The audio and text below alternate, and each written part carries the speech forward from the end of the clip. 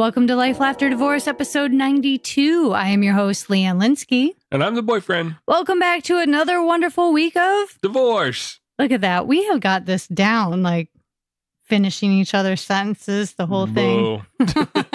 We've become that couple on a divorce podcast of all things. Sad. Hey, so welcome back. We are glad to be here. And while you're settling in, tuning in, make sure you rate, review, and subscribe. Check out the website at lifelaughterdivorce.com. And hey, uh, if you're on the website for any given amount of time, you might notice that it, we may invite you to subscribe to our newsletter. You Probably want to do that sooner rather than later because you may win a prize. That's right. There will be a drawing sometime in December, like a little door prize, if you will. Yeah, a little door prize. And, uh, you know, the other cool thing about the website is we have an online store and it just so happens to be shopping season for the holidays. So check that out while you're there. And why not prep yourself for the upcoming year and book your free life coaching session with me and get a head start on making good, positive change for the end of the year? Yeah. Yeah, why not? Right? Yeah. Why not? All right. So last week we had a juicy episode with Susan Ball where she shared uh, all about the details of like identifying a narcissist, kind of outlining what kind of behaviors they to watch for and what they do and what happens in a relationship with a narcissist.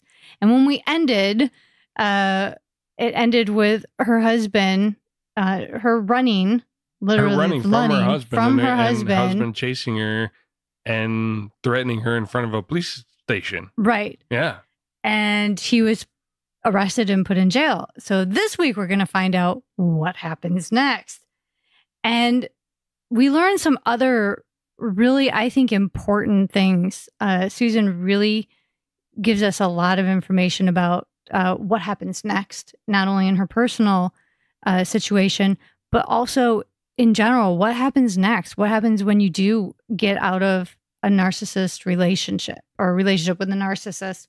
How do you heal from that?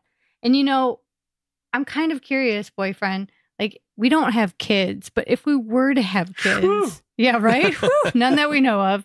Um, but if we were to have children, how, what would we, what would you want your kids to know? Like, would this have en- ever entered your head to talk to your kids about this kind of, No, because I'm I'm I've never dated a narcissist. I didn't even know there could be women narcissists, but we found that out. Mhm. Um and uh so I and I'm I don't identify as being a narcissist, so I don't know much about that behavior. So I wouldn't even know how to talk to my kids about it. Right. So I think that's what I think is is so what I really like that's different about this particular conversation is because yeah, how how do you like this wouldn't talk? Why don't they teach us this in school? That's my big question. There's a the lot week. they don't teach you in school. Right. like, who- why didn't anybody tell me? so, so I think this this is where we kind of even go beyond the narcissist relationship after what happens after and how not to repeat this pattern. So, and how you, and how she interacts with her kids and tries to help them learn about behaviors and make good choices in relationships. yeah, That's that's I think is the most interesting thing that I found out about this episode because she does provide that information for her children, which is something we didn't we did, get. yeah, Yeah. right. I mean, we never entered my mind. So, in case you have not yet gone and listened to episode 91, I'd like to reintroduce our guest. Our guest is Susan Ball, founder of Empowered Her, author, speaker, and self worth activist, and she's on a mission to free women from their abusive relationships. Susan's message is simple and begins once a woman escapes her abusive, toxic, or ugly relationship. She wants women to aim higher, to learn to recognize just how much they are worth, and for them to believe in themselves and establish healthy boundaries as they begin to dream again and love themselves unconditionally. Susan is a passionate, fierce cheerleader who encourages women to rekindle their joy and embrace their big, bold, blissful life. So without further ado, Susan Ball.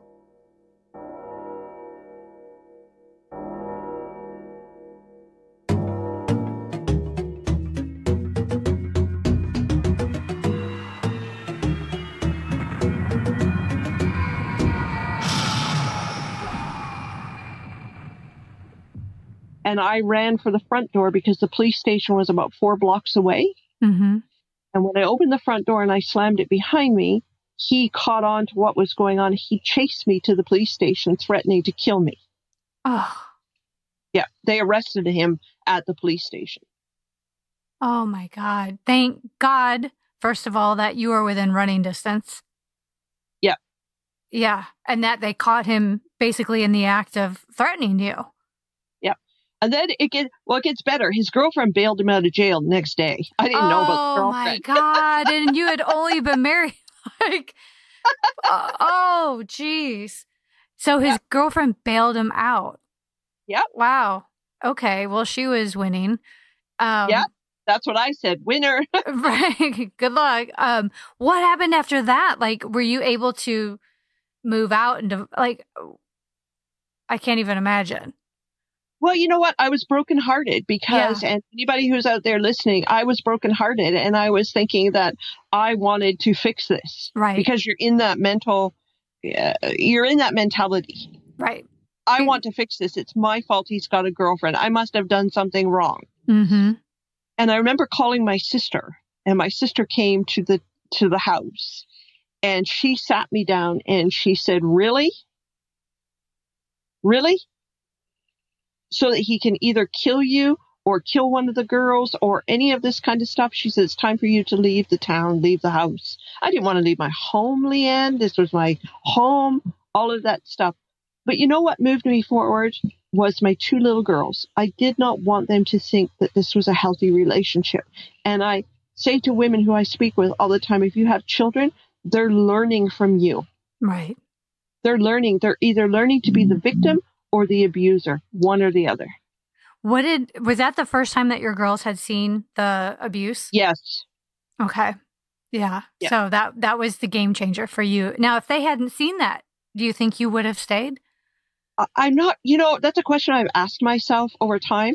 And I think I would have. Really? I think I would have because there was a big part of me that had, and this was something that uh, I know lots of women fight with uh, inside, and that's the guilt and shame. I had this horrible guilt and shame that I had to tell people that I had picked this person, Mm-hmm. and I had this horrible guilt and shame that I had invited all these people to this this bogus wedding, Mm-hmm. and that I had scammed them somehow out of their money and their gifts. So I had all of this guilt and shame, and I felt very um, that I didn't have a way of explaining how this happened to me. Right. And is and with that, did you feel like if you had told people about it, they would be like, "Well, how come you didn't know? Why didn't you leave sooner?" and bombard Yes. you with quite yeah, because they think they're being helpful, but they're not. No, Right. Yeah. No. Because people, I, I, I completely hear what you're saying, and and people don't understand. Um, you know, a lot of it we hear like, why don't they leave, or why would you stay, or something's wrong with them that they stay. But this stuff, it, it they start with the emotional abuse first, and get you in that place of that it's your fault, and that you should be ashamed, and that you're less than, and you're this is what you deserve. Right? Yes, like it's a gradual thing. So uh, to, to people who haven't experienced this it's easy because i before i had experienced anything with a narcissist um, and their emotional abuse before that i i probably would have been on the other side like how could someone do that? Like why would it why would you stay? Like who in their right mind? Because guess what? Uh, life quickly teaches you lessons and humbles you when you find out firsthand that that's because it can happen to anyone and um and it's not a sign of a person being a woman being weak like it's not a weak woman it's just not a weak person who falls into an abusive relationship whether it's emotional or physical it can happen to anybody well, his next girlfriend. yeah Well, that's the question. You always say to yourself, "Oh, I thought I was independent and Right. confident and strong, and how did this happen to me?" right But his next girlfriend, we actually got talking.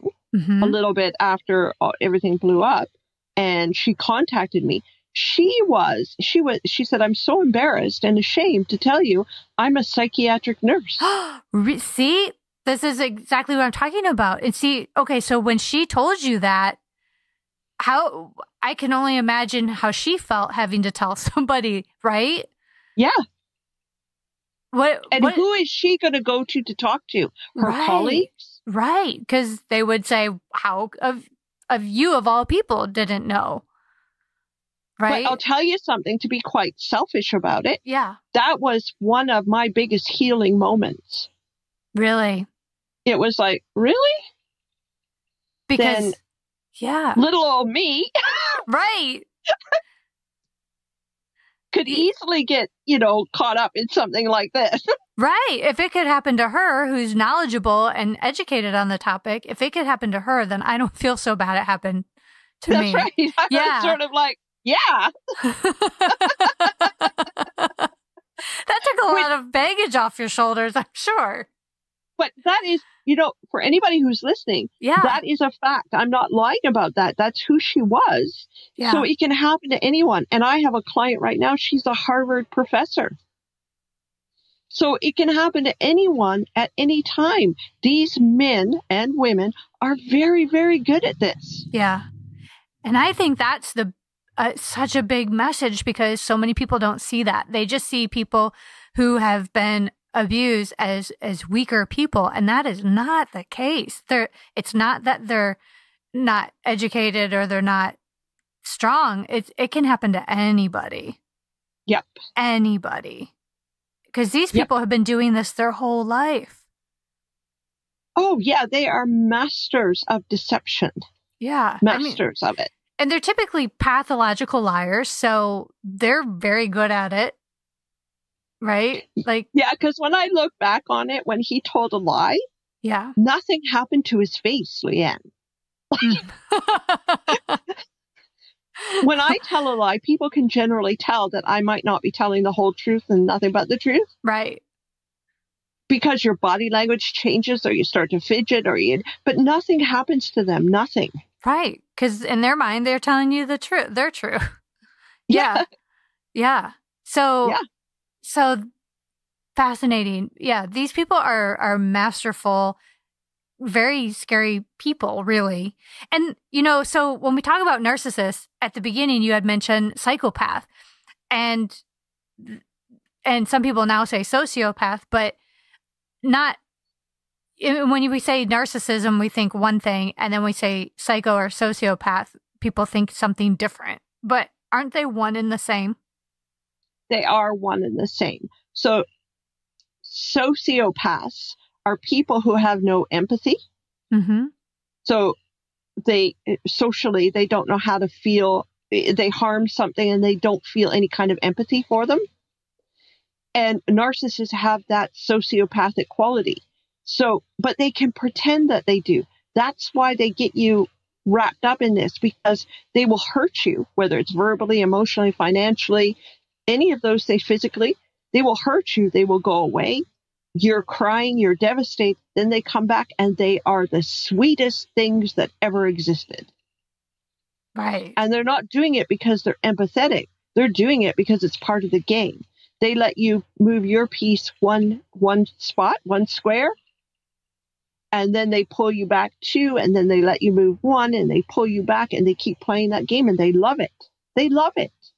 Yeah.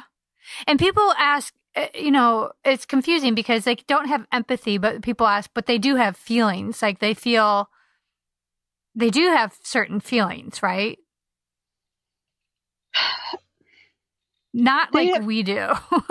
not like we do they have feelings they, their biggest motivation is control what can they control and how are they going to make that happen so they can uh, what's the word they can um, bring about the illusion of feelings depending on what they're trying to control.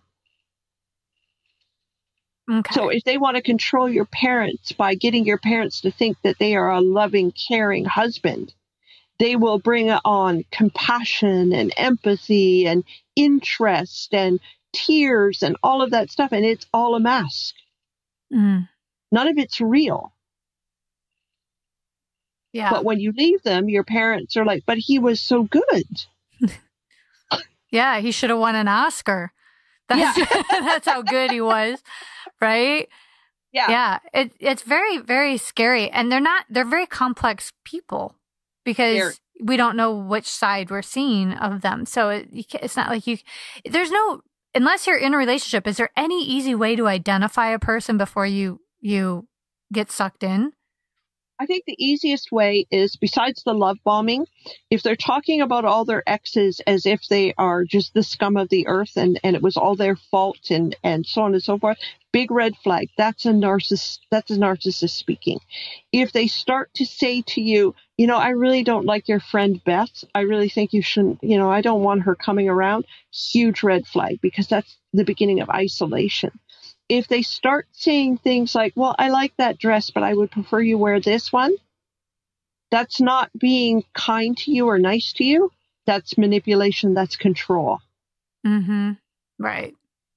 Yeah. So there's subtle little things, Leanne, that uh, if you see them happening, or you go to go out with your friends and they, this is a big one. You go to go out with your friends. You've been seeing them for, you know, a while. You're in the love bombing. You're always together. And then you say, you know what? It's my Pilates night. I've, I haven't been for a month, so I'm going to go. What they will do is they will sit there and they will start to get very upset. They might even cry tears and they will say, you know, I thought we were together in this. I thought that you loved me. I thought that you wanted to spend time with me. I don't understand. Which makes you question what are you doing? yeah. Do you really want to go to Pilates? Right. Right. Like, yep. Okay. And then you say, oh, well, this one time, one more a week won't hurt. Right. Right. Okay. So, yeah. So just be conscious of um, the little things, really, because they're going to seem like very little things. Yeah. Yeah. You know, it's not like someone, like he's doing something so outwardly crazy that everybody would be like, red flag, red flag. These are little things that may seem like nice gestures or, oh, he just really likes me or, um, you know, he's being thoughtful or whatever, or like this is his pet peeve. No, they're a little things that really add up quickly. Correct. Okay. So, what I say is if you have a life, if you're a single woman and you have a life, you go to the gym and you do all these things and you go to art gallery openings with your friends, don't stop doing those things, no matter how much he cries. Because if he cries, he wants to manipulate you. Mm-hmm. He wants to take away your life. He wants to suck all the energy out of you. Keep living your life because you want a codependent relation or an interdependent relationship, not a codependent one. Right. Right. So, so Susan, so now because is it because of your own experience that you ended up becoming a, a coach for other people who are healing from narcissist abuse? Yes, because, and it wasn't because I decided to do that, Leanne.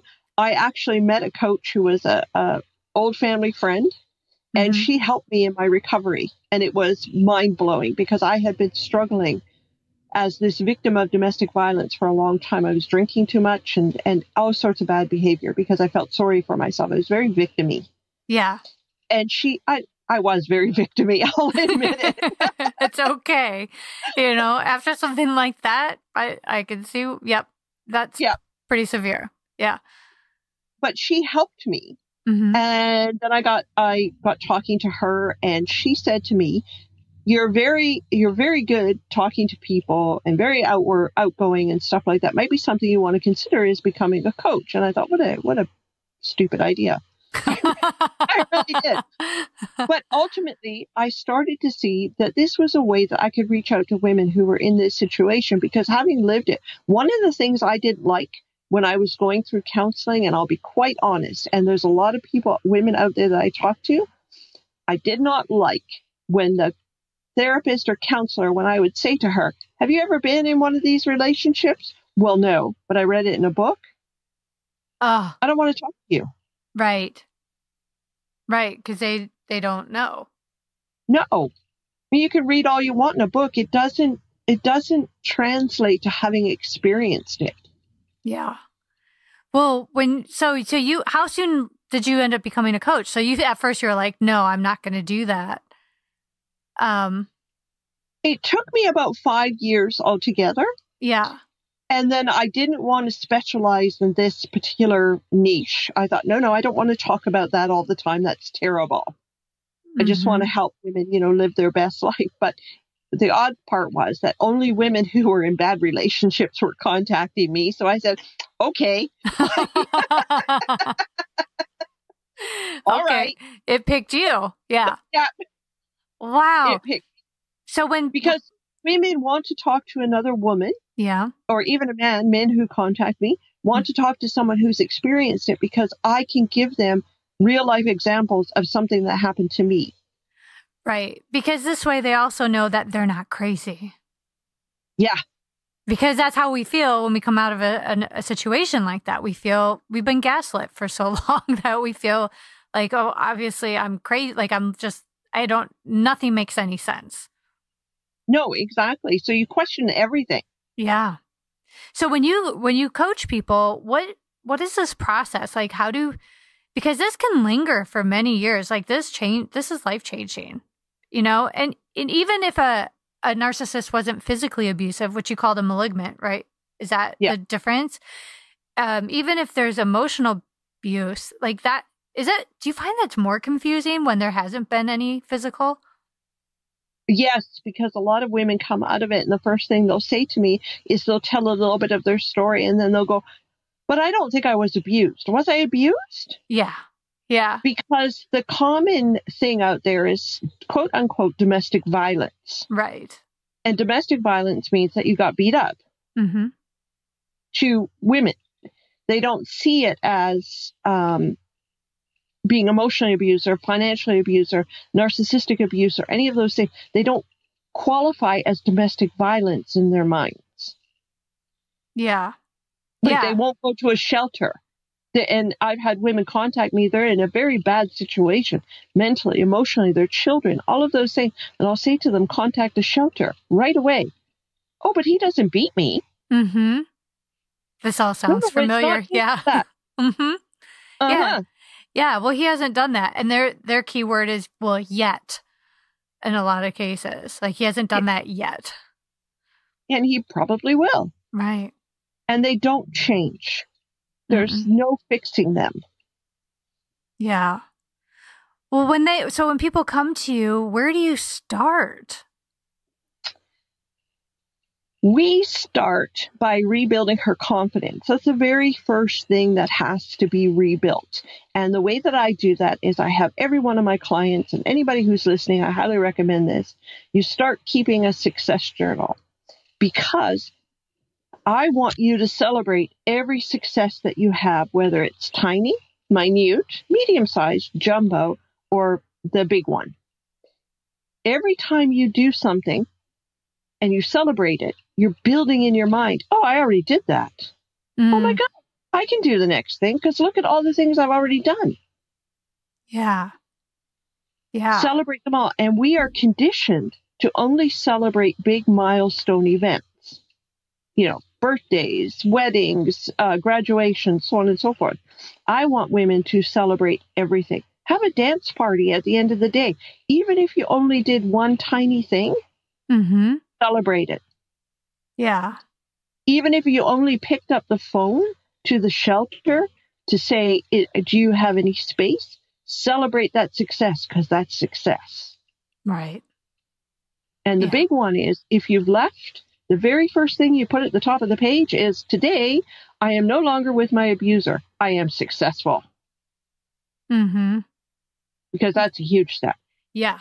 And maintaining no contact. That's a bigger one. Yeah. Celebrate that. Yes. Yeah. Yeah. So no contact, all of those things. Celebrate everything. It's day five of no no contact. Dance in your living room. That's a big deal, Yeah.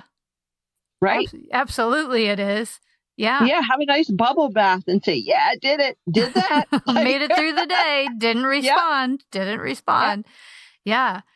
And and so once you start getting successes, you know, and rebuilding that confidence, what what is what comes next? Like I feel like um even though like confidence is rebuilt, that sometimes it's still like do people go into isolation a bit?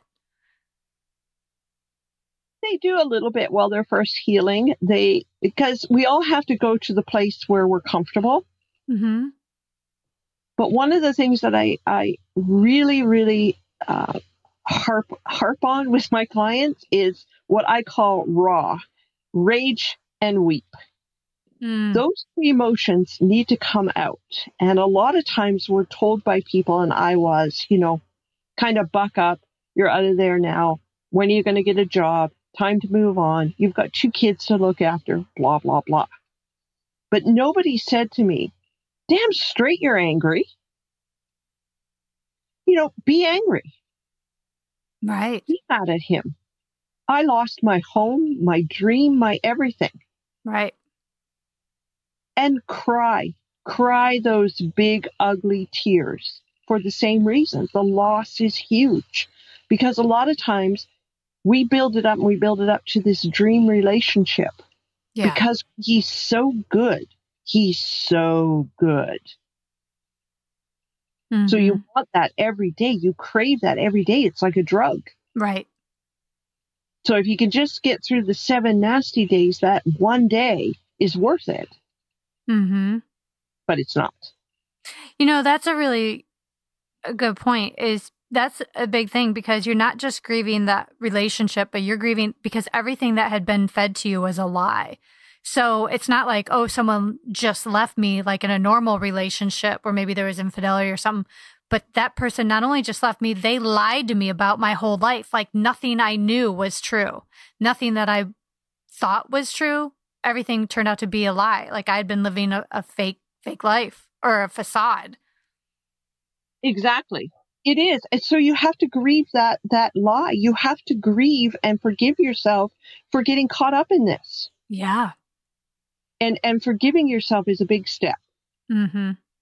So that I have my clients do that. Sit with that emotion. If you feel anger, if it's coming up and it's boiling up in you, it doesn't mean you punch something or do anything like that. You can even write it down or you can just sit there and say, swear inside your head. Do Mhm. whatever it takes to really, really let that anger just have an escape. Because if you hold it in, you're going to get bitter and you're going to get ugly. Yeah. And, Yeah. and that's what's going to happen. The same with the crying. And then we move on to actually talking about what happened in an emotional sense because when you're healing, you have to get back in touch with your emotions, Leanne, all of them the good ones, the bad ones, the sort of in between ones, all of them. You got to get to know them. So I started a process of writing, uh, writing about an event, writing about a memory. And It doesn't have to be grammatically correct. Just write about it. You can type it, write it, whatever flips your switch. Write about it. and- But after you've done writing it, put it away.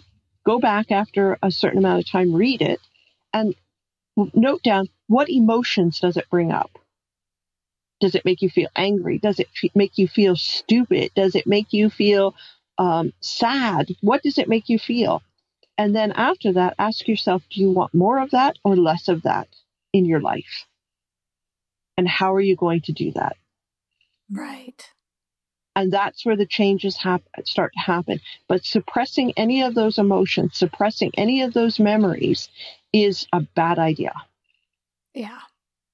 Because it'll bubble to the surface in the next relationship. Correct. Yeah. Yeah. And that's how you start to see if you're compatible with somebody. That's where you get to the this is what I want in a relationship. This is what I value. This is my boundaries. But you have to go through the emotional healing mm-hmm. and it's difficult. I mean, I had to go through it and it's not easy. And it'll bring up things that are like, ew, I don't want to, ew.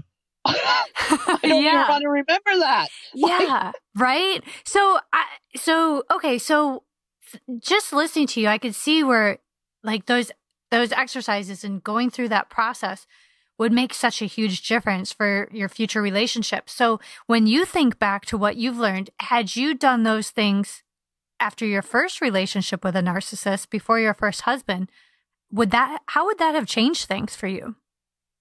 It would have changed all sorts of things because I would have recognized in myself that I had, um, what's the word? I had, I had never in my whole entire life stood up for myself, raised my hand, used my voice and said, Hey, that's unacceptable. Like if somebody tapped their watch now and said that to me, I would smile and say, "Oh, well, yeah. so right? And And? yeah." yeah. And if they said, "Well, I'm not, you know, we're not going to have dinner together," I would say, "Okay, well, I'm taking myself. See yeah. ya. Bye. Bye." Right. But yeah. when I was young and I didn't have boundaries and I didn't understand what I wanted or who I was, I that devastated me. yeah. Right. If I had have taken the time, I would have discovered that I had some issues from my childhood that had never been resolved. And I was so desperate to be loved that I would put up with all kinds of things. Mm-hmm. Yeah. Not now. So, so yeah, big difference. Because, and do you find that when people are coming to you for coaching, have they experienced like more than one narcissist relationship like you've had? Have people, Yes. is it a, yeah, it's a pattern. It's a pattern. And and when I say to them we're going to break the pattern, and it's usually 99% of the time something that happened in childhood, not because somebody maliciously did it to you, Leanne, Mm-hmm. not at all. Right. It could be an event that you do, you've forgotten about. And it's like, "Oh my god. There it is." How do you No, I get, how do you get to that? How do you figure, like, that's, that's like a lot of inner work that you're doing at that point that they, that, that comes up, right? A lot of inner work, but when they do the writing that I was Mhm. talking about where they take a memory Yeah. from the relationship and we're talking about that memory and how it made them feel, I will ask them, does it remind you of anything else that happened in your life? Which Mm. will make them go, oh my God, I remember this time, you know, uh, my dad and I went to a kid's birthday party and blah, blah, blah. And then you have that moment of, and how did that make you feel? So you go back and forth between the two, and then the pattern emerges. Okay. and the moment emerges and the the the the thing that you're carrying around with you that is sort of subconsciously energetically um like causing a, a problem for Mhm. you and and I don't mean that in a mean spirited way Right. I certainly didn't look at myself and say oh my god um that was my issue I have to fix that no it wasn't about fixing it it was about understanding it and understanding how it was affecting my life now. Right. And it wasn't about accusing anyone or confronting anyone. I ended up with a much more compassionate and loving relationship with my parents when I went back and I figured out what the problem was. Wow. I looked at them completely differently. I went, wow, I get it. Right. Right. Because things happen when we're kids and we don't know the whole picture. Like our memories are not, I mean, it's, some things happened so long ago, so we remember bits and pieces. Right. And yeah, so, it, so when we recognize those feelings and can identify the feelings with those specific memory, I can see. So I'm just like connecting the dots in my head as you're saying this. I'm like, this makes so much sense. So when, so when you're coaching people and they've gone through this, like how how soon are people ready and really prepared to hear your puppy? How so- how soon are people ready to go into a new relationship? You know, that varies. That varies. I always say to all of my clients to plan on one year plus one day before you even consider dating or Yeah. even thinking about it at minimum. Why what is it what what is it about a year? What do you think? A year, you go through all four seasons, you go through all of the patterns, you go through all of the memories of your lifetime, Mm-hmm. and you clear them over that time. Because every season, every month, every holiday triggers something. Mm-hmm. Right. Right? Yep. So, and narcissists love to ruin holidays. Oh, if they can ruin Christmas, it's their best day ever. Oh, really? That's terrible. oh no. yeah, no, they they just love to do that. They they uh, not with your parents. They would never do that. It would be a lovely Christmas. right. But generally, you would go to his parents because he's going to manipulate it that way. And he is going to ruin that day for you and make you look like a complete and total wreck Wow. that he has to put up with. I see. Right. Wow. Yep. Yep. Mm-hmm. So then you, the, his parents on it, and so on and so on. So the year and a day is so that all of those things that you're going to go through with all the tools that, you know, uh, we develop in your uh, coaching sessions, you have a whole year to work through all the triggers because there will be things you forget. Yeah. And suddenly you'll be walking down the street, you know, uh, something, there's a, a display in a window or a car goes by and it's a certain type of car and this memory gets triggered Yeah. and all these emotions come up. Now, if you're with somebody else, you have to explain to yourself, but you don't even really understand what's going on. Yeah. So you're more at the point you're suddenly crying or you're angry or you're feeling something and you go, Oh, I'm sorry, I'm sorry, I'm sorry. And you're making excuses for your behavior. So if you give yourself the whole year, the whole cycle of a year, Mm-hmm. you will have the opportunity to have all of those things happen organically. Right. I yes, I can completely see that. And you know, so when people so let's say people go through this this year in a day and they go through the coaching and they get into a place that's okay. I would imagine like even to even though the, a lot of those things have been cleared, when they step into another relationship, do you find that people come back and and want some more coaching because you know, as long as we're aware of those things, we still have to develop new behaviors in a relationship. Yeah. And the big one always comes down to trust. Yeah.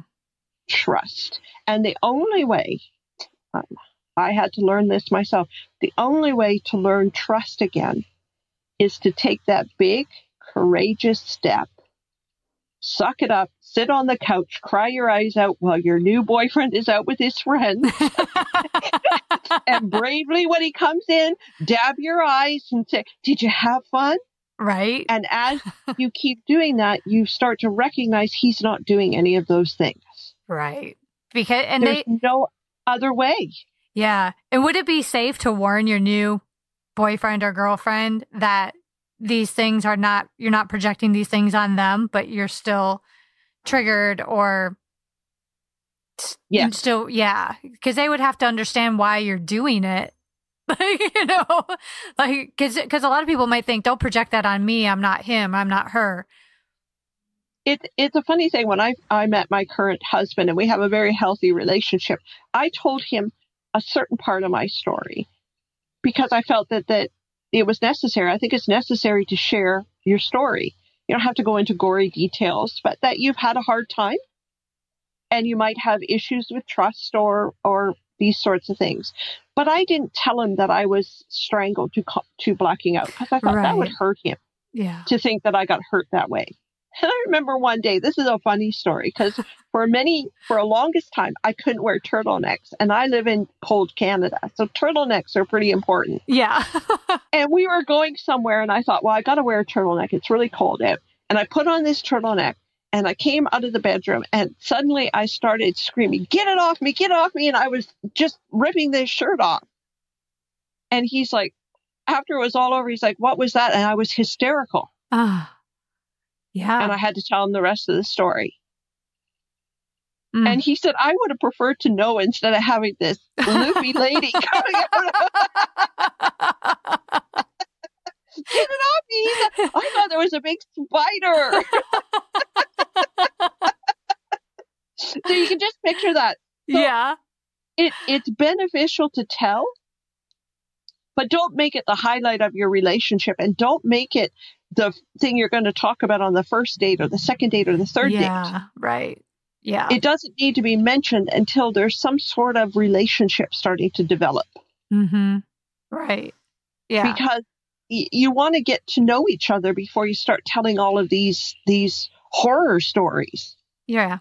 You need some trust there. You need a a safe safe space to do it on both Correct. sides, right? Because um that's also not something easy for a new person to hear. that's right That's yeah. Not that they're going to judge you, but I think that can I they would question can I handle this? yes Yeah. Wow. because it is you know they they don't know what you're going through they don't know uh, what's going to happen and and also you don't want to be sounding like the girl on the date who's talking about her ex that he's the bad one Right. Because now you're doing the he's crazy. Yeah. yeah. yeah and they're going, wait, I heard this podcast where she said if people are talking about. exactly so you know you want to you want Yeah. to leave it until there's a level of a relationship whatever that looks like Right. before you start to say you know anything about it and you don't have to tell the whole story Yeah.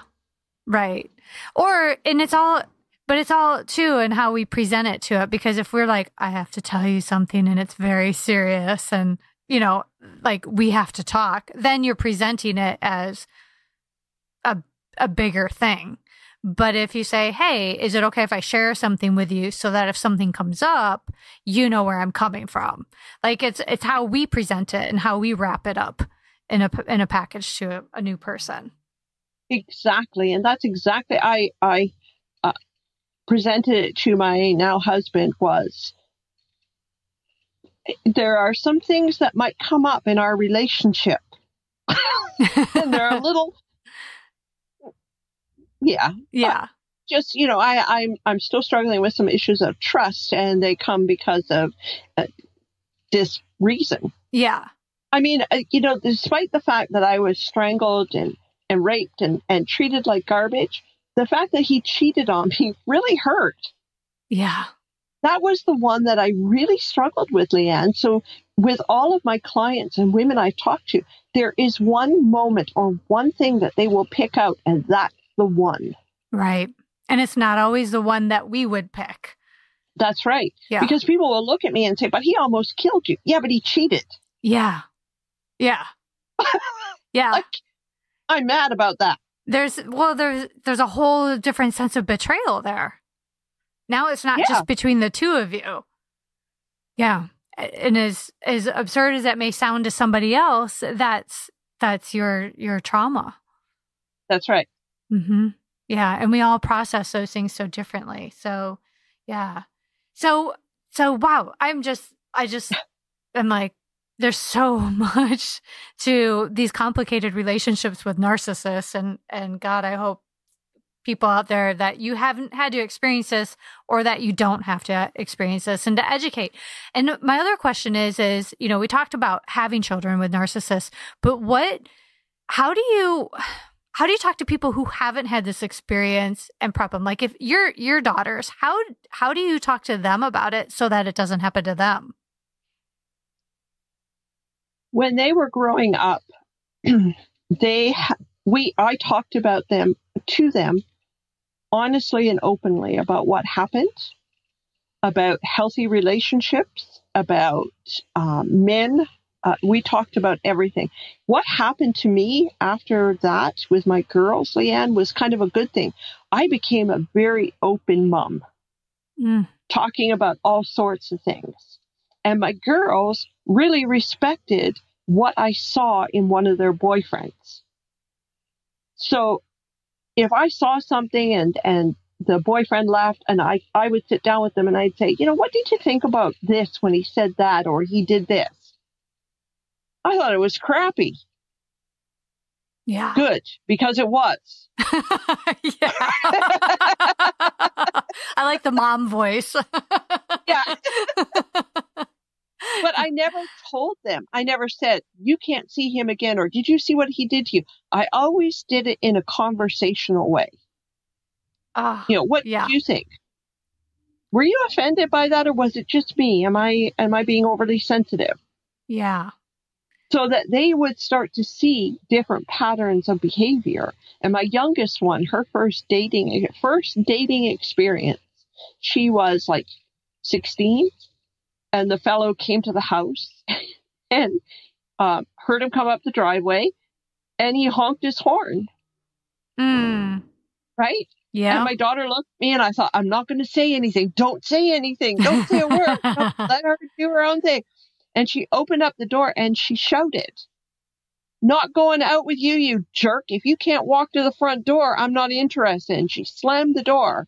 And I'm like, yes, Yes. yes, yes.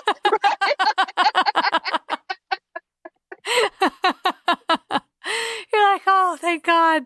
Oh, wow. What an awesome moment, right? Yeah. Yeah. Yeah. And I like like how your your approach with them is conversational and not I like I don't in your example, uh, you're not telling them, you're asking them, what did you think? What do you see? And let them because now they're aware of it.